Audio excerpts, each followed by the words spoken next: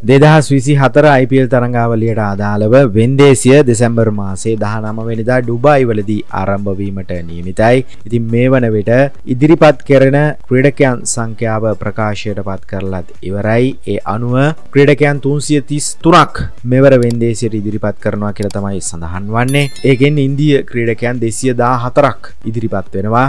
එකසිය දහ නම දෙනෙකු විදෙස් ක්‍රීඩකයන්. එකසිය දාසයක් ජාතියන්තර ක්‍රීඩකයන් දෙසිය පහළවක් ජාතියන්තර වරම් දිනා නොමැති ක්‍රීඩකයන්.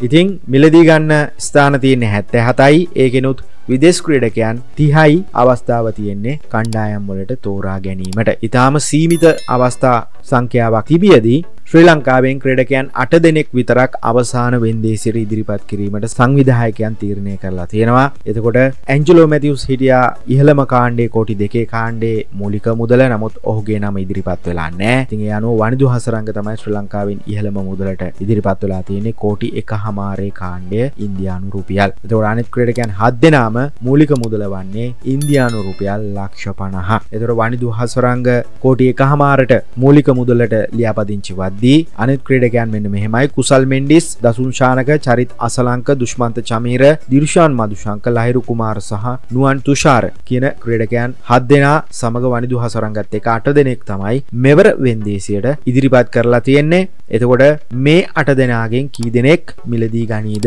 කියලා තමයි බලන්නට තියෙන්නේ. ස්ථාන තියෙන්නේ විදෙස් ක්‍රඩකයන්ට තිස් දෙනයි. කණ්ඩායම් දහයට තිහක් තමයි ලබා ගැනීමට පුළුවන්. ඉතාම සීමිත අවස්ථාවන් ප්‍රමාණයක් තිබෙන්නේ.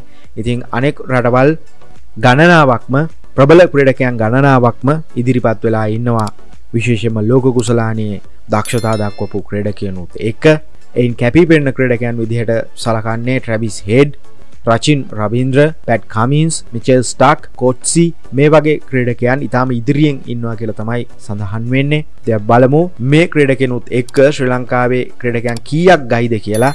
මොකද ස්ථාන තිහයි සීමිත ස්ථාන ප්‍රමාණයක් තමයි තියෙන්නේ. හරියටම කිවොත් මේක මිනි ඔක්ෂණ එකක් විදිහයට තමයි සඳහන්වෙන් චැනල් එක සබස්ක්‍රයිබ් කරන්න. සීනුවෝ බලා වැඩසටහන් ආපු ගමන්ම දැනගන්න.